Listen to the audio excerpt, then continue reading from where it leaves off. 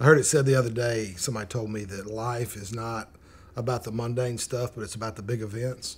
And uh, we think of big events that happen in our lives. And for me, probably one of the tops would be October 20th, 2006. At the top tonight, a very tragic and fatal wreck claims the life of one area student and injures several others. The accident happened just tonight. South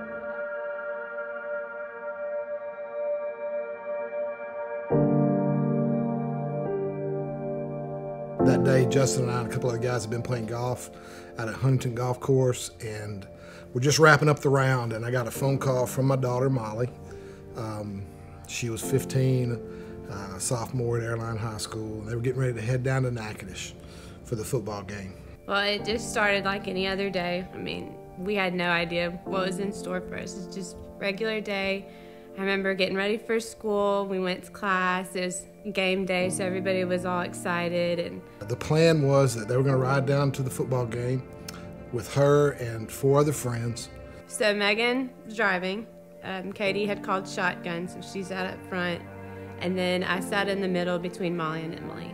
We were just teenage girls. I mean, we had played our music. I think it was like Backstreet Boys at one point. Everybody was just singing and laughing. I mean, you couldn't be with those girls without just having a good time. We were dropping Caroline, my youngest daughter at the time, who was nine years old, uh, dropping her off at a birthday party at Heart of Bossier, and my phone rings. Justin called me on the phone. He said, Hey man, who was uh, Molly riding to the game with? And I said, Well, uh, Emily and I think Megan. And he said, Well, man, look, um, I don't know everything just yet, but you need to get to LSU Hospital. I just remember we had swerved and then Megan overcorrected, and after that, it. I mean, it was just like a movie. I mean, it, time slowed down. I can remember every second, every detail, every sound. And I remember it was just. Remember the car rolling, and it was just so loud. And then it was probably the longest 30 seconds of my life. And then I remember it was just silence.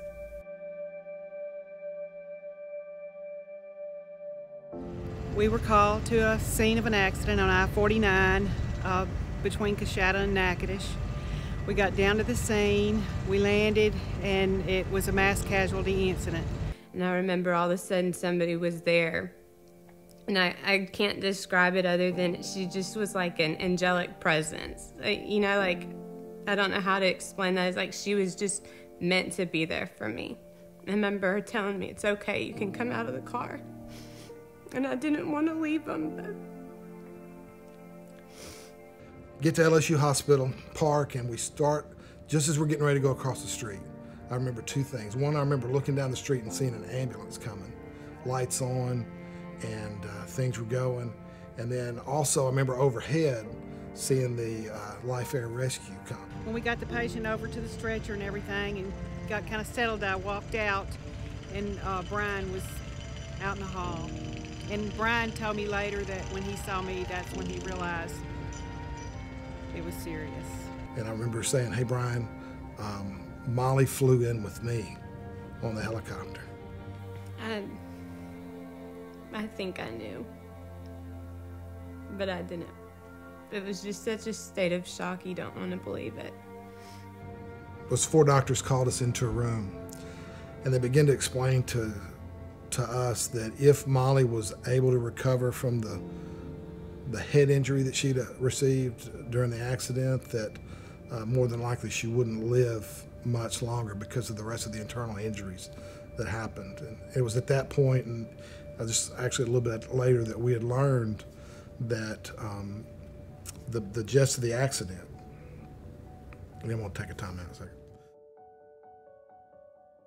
With the help of my friends and family, that it got to a point where I realized that something good had come from it. And it's, it's just all about perspective. I mean, you could spend the rest of your life being upset that you had to go through that, or you can move on and realize the impact that they had and what they did. And, that there's a plan for everything. I think the miracle in this is the lives that were touched as a result of those girls' lives, and obviously, particularly my daughter Molly's life. Molly had lived more and made more of an impact in her 15 years than some people do in 80. Uh, she knew how to live and make the most of her life, and she had an impact on so many people through this. About three weeks ago, I, I get an envelope on my desk, and I open it up, and it's from one of the teachers who was retiring at Airline High School. And she said, You don't know me, but and begin to tell the story of how she knew Molly and that Molly was in her class and the people that she was touched by. People started sending letters and calling. I mean, I got hundreds of cards in the mail from the school, from other schools, from the church. And I just remember the the cards, all of them, just talked about how much of an impact that Molly and Katie and Emily had on their lives. Even though it may seem like it is impossible to live another day or to draw another breath. The reality is this that God is still there in the moment and he loves you and he loves me just as much now as any other time.